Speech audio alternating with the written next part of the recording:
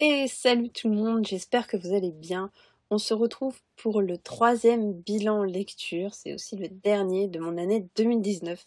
Donc on revient sur mes lectures les plus marquantes, sur celles qui ont vraiment fait mon année. Et donc ici j'ai six livres à vous présenter. Comme pour les précédents bilans, je vais essayer d'être brève, d'être rapide. Et puis euh, comme ça on va pouvoir reprendre à mon rythme avec euh, les nouvelles vidéos au fur et à mesure. Première lecture à évoquer, Une trace dans le temps, qui est le tome 4 des Chroniques de Sainte-Marie de Jody Taylor aux éditions HC Éditions. Les Chroniques de Sainte-Marie, je vous en parle, je vous en reparle depuis des mois et des mois, depuis même un peu plus d'un an. Euh, c'est une saga que j'aime énormément. C'est juste quelque chose d'extraordinaire, la façon euh, dont, Max évolue.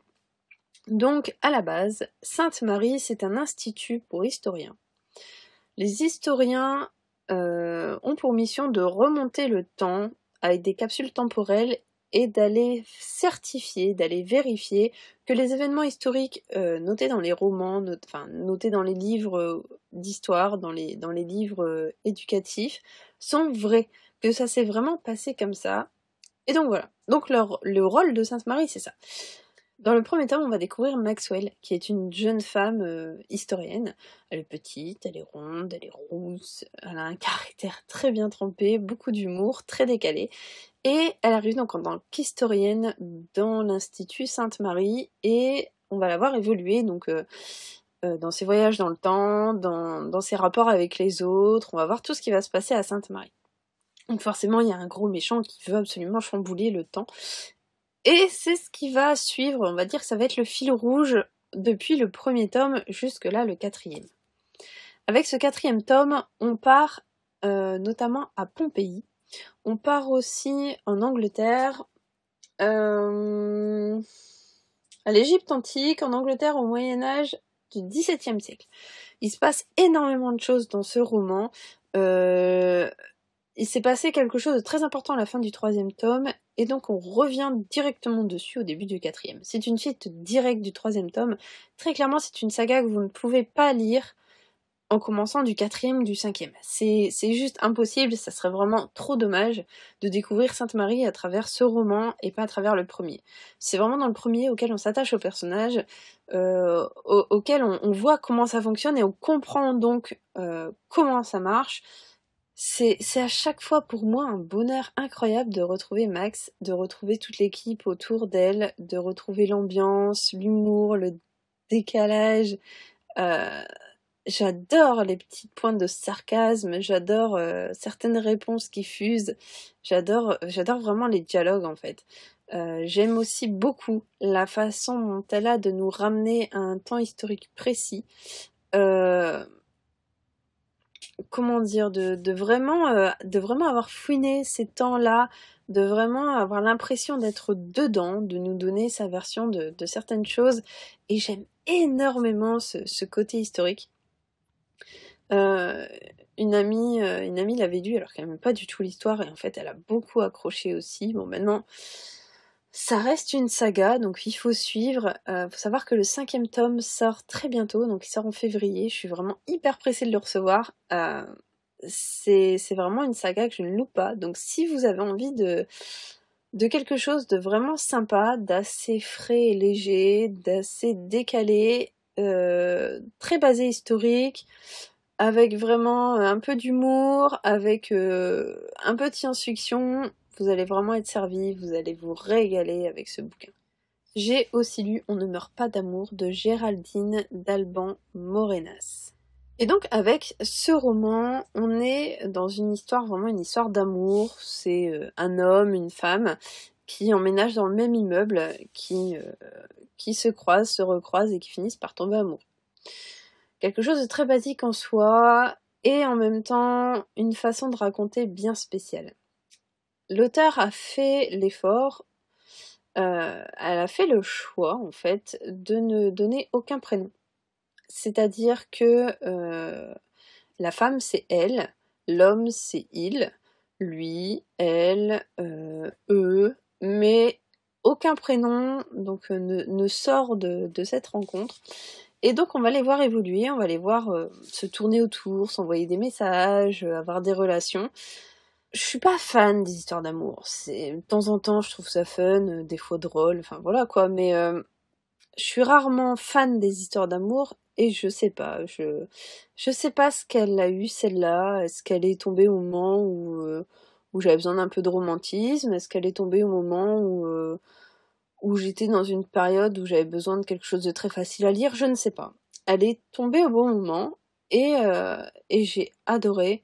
J'ai adoré la façon dont elle l'a raconté. J'ai adoré le fait qu'il ait qu'on puisse s'identifier facilement au personnage en fait du fait qu'il n'y ait pas de prénom, qu'il y a y a pas vraiment de lieu, il n'y a pas de date, tout ça, on est euh, on est assez euh, assez facilement euh, dans l'histoire. J'ai pas aimé sa conclusion, clairement, ça a été c'est pas bâclé pas du tout hein, c'est juste l'issue de l'histoire qui je sais pas, ça je sais pas. Je sais pas, il y a eu un truc qu'il a pas fait au niveau de l'issue de l'histoire. Mais euh, ça reste une histoire que j'ai énormément appréciée, que, euh, voilà, euh, je trouve que je parle pas énormément d'histoire d'amour, de tout ça, je suis beaucoup littérature noire sur la chaîne, et je trouvais que c'était intéressant de pouvoir vous en parler aussi. De vous montrer déjà que je lis pas que des horreurs, et aussi que, que ouais, voilà, il y a y a eu un truc avec ce bouquin, franchement, il est tout petit, ça se lit hyper vite. Euh, je sais qu'il était sorti en septembre, je crois, septembre ou octobre, euh, au moment de la rentrée littéraire. Et, euh, et vraiment, c'est, j'ai beaucoup aimé. Je l'ai lu super vite, en deux fois je l'ai lu, donc peut-être en deux heures, deux heures et demie, je l'ai lu. Ça, ça se lit vraiment très bien. Je je me souviens d'une amie, aussi d'une amie très proche, Leia, qui, qui lit très peu et qui, elle euh, aussi, a beaucoup, beaucoup aimé euh, ce roman, trouvé, euh, voilà, qui lui a donné envie de lire aussi un petit peu, donc, donc je suis vraiment super contente. Donc vraiment, c'est un roman qui se lit super bien, ça peut être vraiment sympa à découvrir.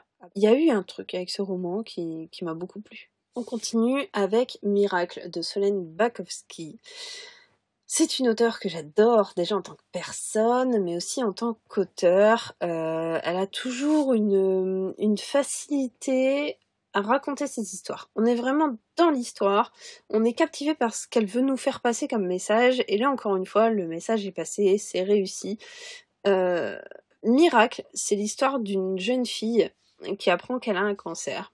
Et euh, du coup, elle veut réhabiliter le bateau de son défunt père qui est décédé en mer lors d'un voyage sur son voilier. Et euh, du coup, elle veut réhabiliter le voilier et euh, l'utiliser pour traverser l'Atlantique. Donc, pour ça, elle va être suivie. Donc, forcément, ça va faire le buzz parce qu'elle a le cancer, parce que voilà, c'est son dernier vœu. Elle veut faire quelque chose de bien. et donc, elle va être suivie par des chaînes de radio, par, par la télé. Voilà, il va vraiment avoir un truc autour de, cette histoire. Il y a, d'autres histoires parallèles à tout ça. J'ai envie de dire qu'en fait, c'est plein de petits personnages. Il y a ce personnage principal qui va prendre la mer, qui va, voilà, qui va se battre contre le cancer. Et il y a d'autres petits, euh, d'autres personnages autour qui vont vraiment aider à construire l'histoire. J'avais peur, en commençant la lecture, déjà j'avais pas lu le synopsis, donc j'y suis allée à l'aveugle parce que de toute façon sur Bakowski je sais très bien la façon dont elle va raconter, je sais qu'elle peut me raconter comment faire fondre du beurre, il n'y a aucun souci, je vais la lire. Euh, c'est pas une idée, hein, Solène. Tu oublies tout de suite, on ne raconte pas comment on fait fondre du beurre dans un bouquin. J'avais peur en lisant le début que toute l'histoire se passe pendant son voyage en mer. Qui est vraiment. Euh, que, vu comment c'était parti, j'avais peur vraiment que ce soit le, tout le gros du bouquin qui se passe là-dessus. Et en fait, non j'étais agréablement surprise parce que vers la moitié, euh, voilà, on, part sur autre chose, on creuse autour d'autre chose et euh, et ça donne plus de profondeur à l'histoire, ça évite de rester ancré vraiment sur cette histoire de bateau. Euh, ça a été une excellente lecture. J'ai du mal de toute façon à ne pas aimer les romans de Solène. C'est toujours des, des coups de cœur et celui-là en fait partie. Euh, j'aime la façon dont elle voit le monde. Elle voit le monde d'une façon très noire en fait.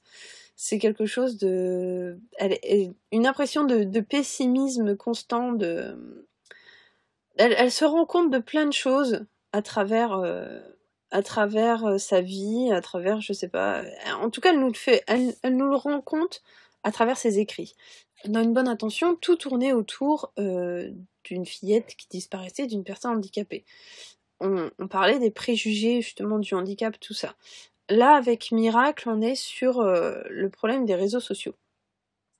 Très clairement, c'est un sujet euh, je, pense qu'elle l'a abordé vraiment dans ce sens-là, de montrer à quel point ça peut être positif et négatif.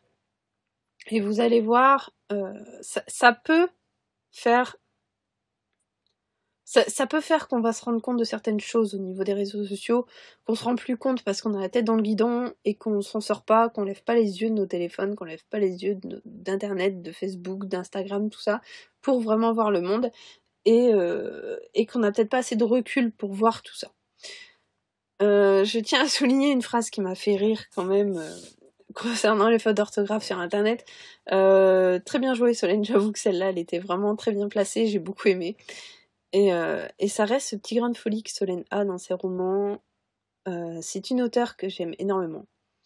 C'est une personne magnifique, elle a un cœur énormissime euh, et, voilà, c'est une auteure qui écrit mais tellement bien sur des sur des choses, on a l'impression que c'est du vécu, que c'est du vrai, que c'est du fait réel, que c'est vraiment arrivé, c'est tellement touchant, tellement humain. Euh, ouais, j'aime énormément ce que Solène Bakowski fait, et surtout si vous ne l'avez pas lu, découvrez-la, parce que ça mérite le détour, vraiment.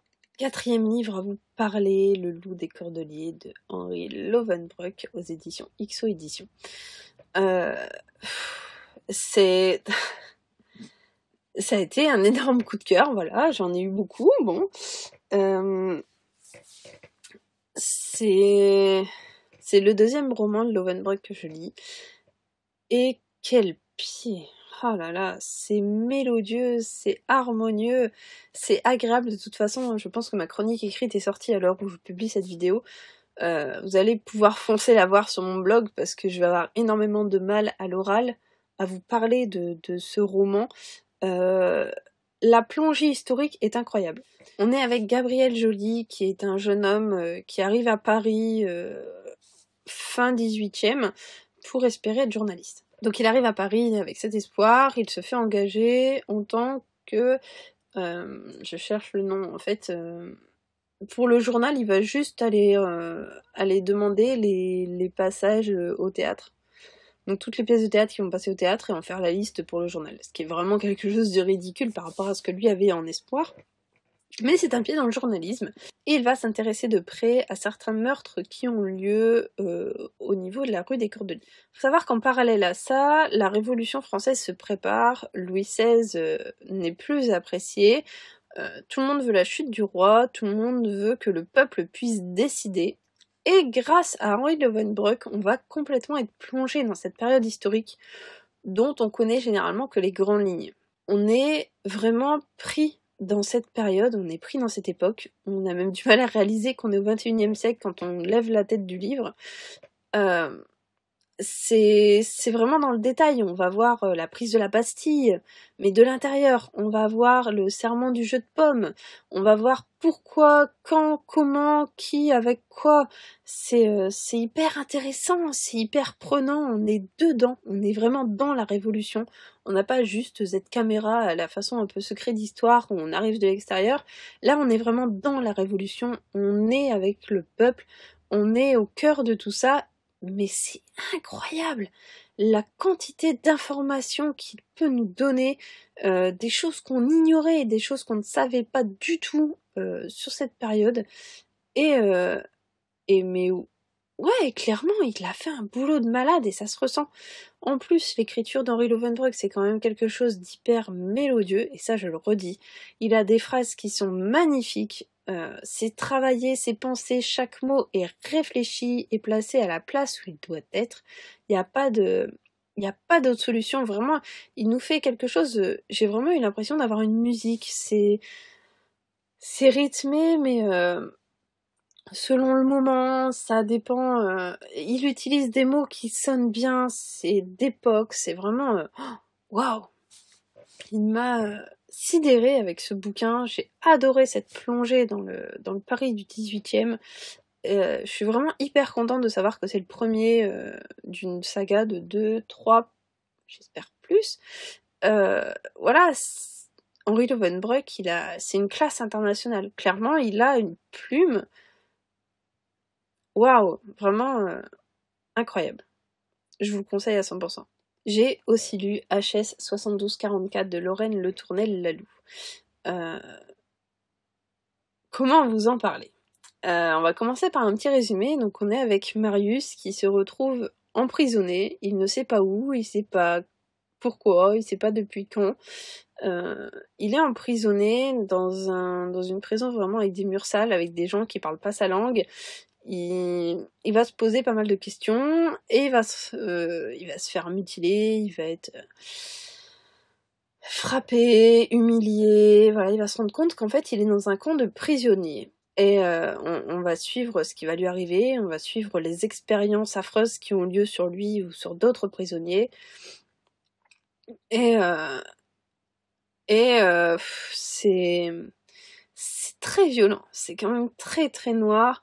En plus, quand on sait que ça a été écrit à partir de faits divers, c'est-à-dire que Lorraine Le Tournel s'est basé sur euh, des camps qui existent encore de nos jours, euh, qui mutilent, qui torturent des, personnes différentes pour savoir pourquoi est-ce qu'ils sont pas comme tout le monde. Et je trouve ça absolument ignoble. On est au 21e siècle. Il s'est passé énormément de choses pendant les guerres et euh, on pensait en être sorti alors qu'en fait non, ça se passe là, pas très loin de nos jours et c'est hyper inquiétant, c'est hyper... Euh, vraiment, ça fait peur, c'est une horreur, c'est très très dur et surtout quand on voit ce qui se passe vraiment dans ces camps, euh, quand on voit les horreurs qu'ils subissent, quand on voit toute cette noirceur, ça fait mal, c'est douloureux, c'est désagréable. Euh, j'ai beaucoup aimé cette histoire. C'est franchement c'est un premier roman, c'est une auteure qui est vraiment adorable. elle gère un groupe de lecture qui s'appelle les Mordus de lecture elle est, elle est hyper adorable et elle écrit des choses euh, vraiment affreuses. Et en même temps, ça fait réaliser, ça fait se rendre compte de tout ça. Euh, moi, sur mon retour, j'ai pas été hyper emballée, j'ai été un peu mitigée parce que c'était vraiment trop noir pour moi. Et vous le savez maintenant, il y a des romans comme ceux de Mathias Coping euh, que j'aime, hein, mais que je ne peux pas terminer parce que c'est trop noir pour moi. Donc celui-ci, je l'ai fini. Mais j'aurais peut-être aimé qui soit plus dense au niveau peut-être des réactions politiques, des côtés politiques et peut-être moins noirs. Maintenant, je comprends qu'il ait besoin d'être aussi sombre vis-à-vis, euh, voilà, bah, que ça sert à rien d'édulcorer euh, les, les faits, ça se passe comme ça, c'est ça qui arrive. Pourquoi est-ce qu'on en dirait moins? Pourquoi est-ce qu'on adoucirait les choses alors que ça n'a pas lieu d'être? Euh, Ça reste un roman très très bien écrit, ça reste quelque chose de très prenant, de très incisif. La plume est, vraiment intéressante, c'est souple, ça se lit vraiment bien. Euh, voilà, c'est, il manque peut-être un peu de densité, mais, euh, mais clairement, pour un premier roman, elle m'a, elle, m'a vraiment euh, subjuguée. C'est, c'est un très très bon premier roman à mon sens. Dernier livre de l'année, et après je vous embête plus avec 2019. Double amnésie de Céline Dangean. Donc j'ai lu cette année les trois romans de Céline Dangean autour d'Héloïse Bouquet. J'espère revoir Héloïse très bientôt parce que c'est un personnage que j'adore. Euh, dans Double Amnésie, en fait, on est dans la suite directe du cheptel. Euh, dans, Double Amnésie, Héloïse, euh, la sœur jumelle d'Héloïse, qu'elle n'avait pas vue depuis très longtemps, depuis de nombreuses années, vient la chercher parce qu'elle pense qu'elle est euh, menacée par quelqu'un, que ses enfants sont menacés et elle a absolument besoin d'Héloïse, qui est donc est, gendarme, qui peut l'aider parce qu'elle pense que si elle va se plaindre au niveau de la police, elle pourra pas porter plainte, qu'il n'y a pas assez de preuves, tout ça. Donc Héloïse va suivre sa sœur, elle va essayer de l'aider. Euh, sauf qu'en faisant ça, elle pensait peut-être pas remuer autant de choses du passé, et donc on va se retrouver dans tout un truc très complexe. Et encore une fois, bonjour le puzzle elle nous place ses coins, elle nous fait le tour de l'histoire et on comble ensuite. C'est énorme, j'ai euh, pris énormément de plaisir déjà à lire ce livre parce que c'est hyper bien écrit, c'est très dense, c'est très fouillu et c'est très couillu aussi parce que elle arrive à, à tout relier. Mais c'est énorme, elle a tellement de détails, tellement de choses qu'elle nous balance comme ça par-ci, par-là, et on ne sait pas à quoi ça sert, on ne sait pas pourquoi est-ce qu'elle nous dit ça, mais tout s'imbrique à la fin, à la dernière pièce du puzzle, on comprend tout, on assimile tout, on réalise à quel point c'était complexe et à quel point elle a réussi à nous berner, à nous emmener jusqu'au dernier mot, jusqu'au dernier moment. Et quel plaisir, encore une fois, de, retrouver Héloïse Bouquet, qui est un personnage que j'adore, qui, qui, a une façon pessimiste de voir la vie, qui a une façon euh, particulière de gérer les enquêtes, qui n'en fait qu'à sa tête, qui est une vraie tête de mule, qui euh, ah, c'est un personnage que j'aime, que j'adore vraiment profondément et que j'aime retrouver à chaque lecture. On est vraiment sur un thriller plus psychologique qui va traiter d'un sujet de fond qu'on voit très rarement. Euh, je vous en dirai pas plus. Que je pense que ça mérite d'être découvert au fur et à mesure de la lecture, même si euh, beaucoup en parlent. Euh, et, là vraiment, ça tourne autour du passé, autour de, la vie d'Héloïse, autour de la vie de sa sœur, autour de. C'est vraiment une enquête plus familiale, plus plus personnelle. Et j'ai beaucoup beaucoup aimé en apprendre plus sur euh, sur le passé d'Héloïse. Ça a été vraiment une excellente lecture. J'ai fait la transition 2019-2020 avec celle-ci ça a été vraiment euh, une énorme découverte, ça a été un, pied pas possible de, de, lire, de découvrir encore une nouvelle histoire de, Céline Dangean. Donc Céline, euh, j'attends le prochain avec impatience, vraiment. Euh, je suis vraiment très très pressée de pouvoir te relire, de pouvoir connaître des événements futurs à Héloïse. Donc, donc dépêche-toi. Voilà, mon troisième bilan de l'année 2019 est fini. C'est bon, j'ai fini de vous parler de tout ça. Quoique bientôt arrivera sûrement un boucol de ma fin d'année 2019, donc à peu près 7 mois de boucol, je vous laisse imaginer le bordel.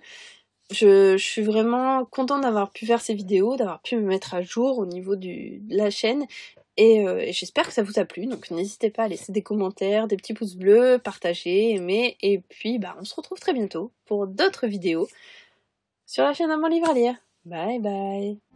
Adieu, Sassenard.